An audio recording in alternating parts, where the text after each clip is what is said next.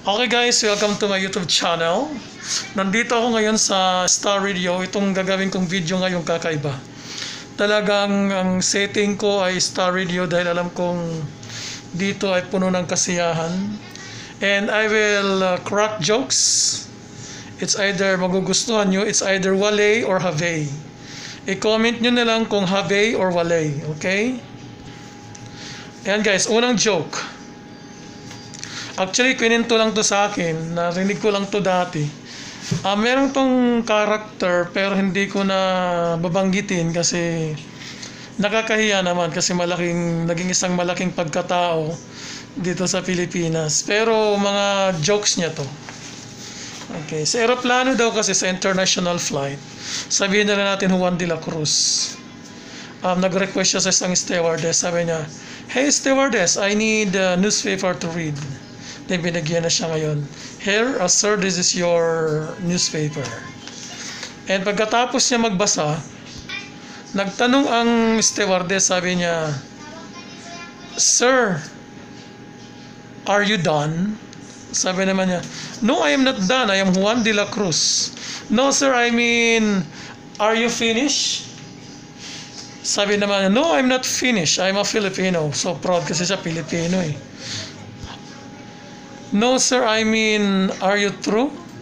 Tapos sabi naman ni Juan, What do you think of me? False? Ayan guys, nandito pa rin ako sa Star Radio. Um, pangalawang joke. Wait lang. Ayan. Actually, ano to?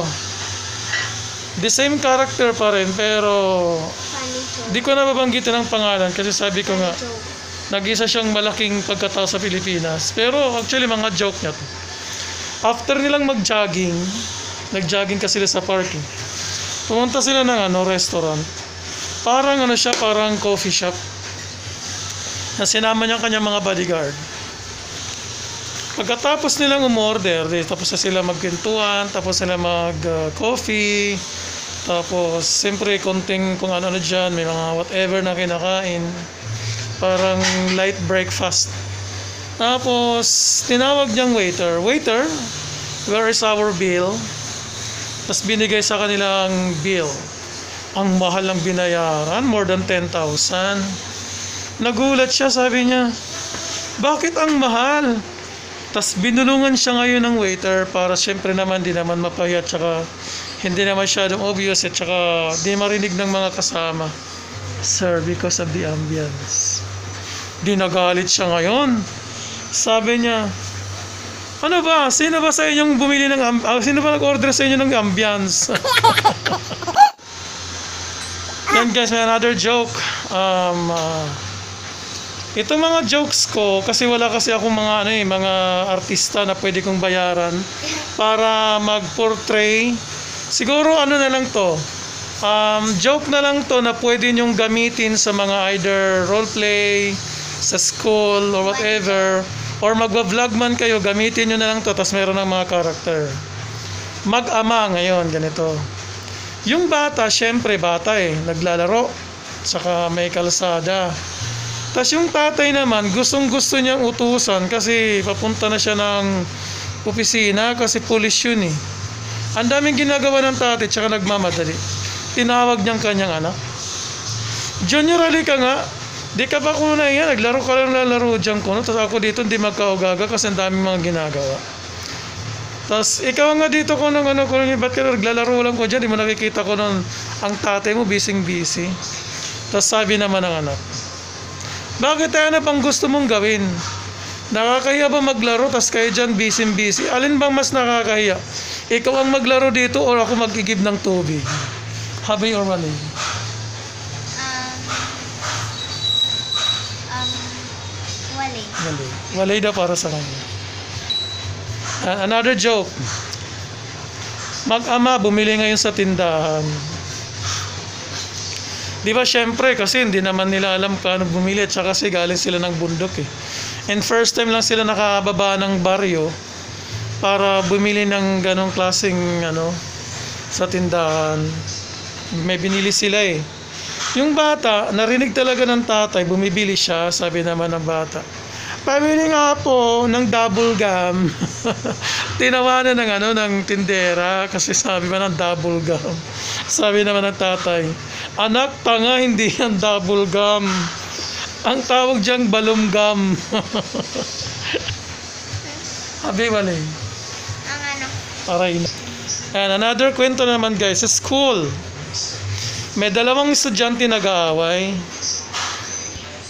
Ayan, nag-aaway yung dalawa, yung dalawang mag-classmate. Nagtatalo, ganito, ganyan. Ito, pinatawag ko yung teacher. Po ang teacher sa kanyang table, tsaka yung dalawang estudyante niya, pinaupo niya sa harapan niya. Ikaw, Maria, bakit may inaway si Pedro? Ganito, ganito, ganyan. Kasi po, ma'am, binato niya po ako ng erase the blackboard. Erase the blackboard, eraser. Hello, manager ni si manager. Manager, game ako jokes. Ah, mas Tapos, sabi naman ni, ano, yung isang, yung inasa naman, ah, dapat ang... ah, sabi naman ni Pedro, ako nga ma'am, binato nga ako ni Maria ng sweep the floor eh. Tapos sabi ng mga teacher, wag nga kayo maingay dyan, isasabit ko kayo sa flag ceremony. Wali or habe? Um, Wali? ah, Habe? konti lang daw. Yan, another joke. Sa class, ano, mathematics. Mathematics. Math teacher. Hello, DJM. Say hi muna, DJM. Yan ang aming technical manager. At yung naka-blue na yan, yan ang aming manager na gwapo. Ayan. Sa school naman, mathematics, mathematics subject.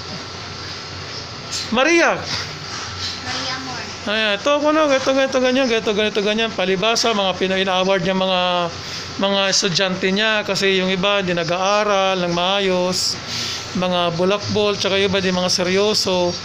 Pero, mas seryosong manager namin dahil gwapo. Manager! Manager. Manager si Ayanay. Ikaw ano? Ano pag May joke ka, pag Mag-joke ka. ano ka, Duterte. Hmm. Ay, wag yan. Uwi muna ako. Ayan, sige, ganito. Sige ito, ganito. Ka, palagi ka ko nang hindi nakikinig ko sa classroom ha. Kay Maria, floor 4 plus 4. Five. Sabi naman na Maria. Parang hindi niya makasagot, hindi siya makasagot. Tapos ngayon, binulungan siya ng kanyang classmate na si Juan. Sabi ni Juan, sabihin mo 9. Tapos sabi naman ni Maria, Ma'am, 9. Tapos sabi naman ng teacher, Hmm, nakakuha ka lang tamang sagot kasi binulungan ka. Wala habe. Wala habe. Um, slide. Slide.